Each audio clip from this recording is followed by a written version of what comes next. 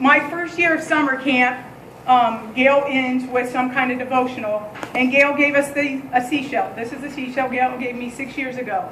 And she's ended by saying, carry that in your pocket. You're going to make a difference in a child's life. So my first year of summer camp is going. I carried that seashell in my pocket every day, and uh, we had this this boy named um, Deshaun, and I still have his younger brother and sister today. And I tell my his mom that I talk about him, but for a lack of a better word, and like I said, I talked to his mom. He was bad. I'm serious. Like I'm gonna tell you, this is what it was. It didn't matter. This activity sucked. Swimming sucked. This everything. It was horrible. It didn't matter what we did. So I tried the reverse psychology and said, why don't you help us? What would you like? You know, and try to plan something. Well, that didn't work. But week six came and the family went on vacation. So the counselors were happy and we were all like, oh, we're, we're going, everybody's going back. So the seventh week of camp, that following Monday, Deshaun comes back and I'm like, hi Deshaun, how are you? Did you have a great vacation? Yep, great.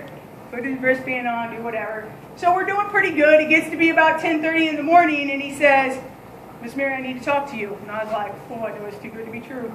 And um, I was like, so I go over and I'm like, how can I help you? And he's like, no, I want to talk to you over there. So I go over and we have cafeteria tables and he said, I, I need you to sit down and close your eyes and put out your hand. And I busted out laughing. I was like, you have lost your mind. Week one, two, and maybe three, I would have fell for that, but we're week seven and now I'm a little bit smarter. And he said, no, Miss Mary. He said, seriously. He said, I promise I won't put anything in your hand. He said, put out your hand, close your eyes. So I'm going to try not to get emotional about this because I'm very passionate about those kids on the field. Anyways, I put my hand out on the table and he puts something in my hand and he closes my hand and puts his hand on top. And he says to me, he says, Miss Mary, he said, thank you for believing in me. Thank you for never downgrading me. Thank you for always being supportive. Thank you for loving me. Thank you for giving me a hug every morning. Thank you for smiling. Thank you for telling me I could be a better person. He says, I know that I have not been a good person. And he said, I just want you to know that the next three weeks of camp, you will not hear me say the word suck. and I will be the best camper you've ever had. And he said, I can't thank you enough for changing my life. So by this time I'm crying, and I thought he would get me on that, and he didn't. And I opened, and he says, "You can open your hand." And I opened my hand, and in my hand, they went to South, um, South Carolina to the beach. He brought me a seashell. So Gail gave me a seashell at the beginning of summer. Deshaun is not the person I thought I would have been a superhero in his life.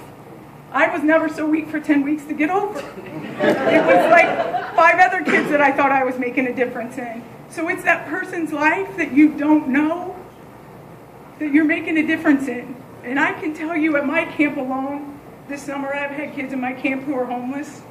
If it wasn't for your donations, for your generosity, for your caring about kids, they wouldn't be there.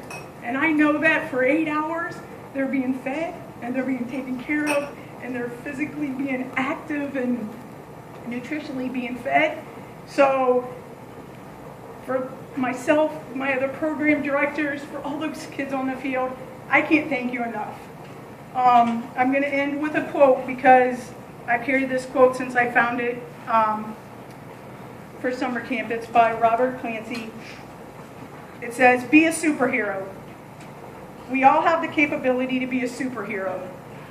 In order to become one, you just have to find your unique power or your ability to exploit it for the greater good. The cape and the mask, they're optional accessories. But a kind heart is essential.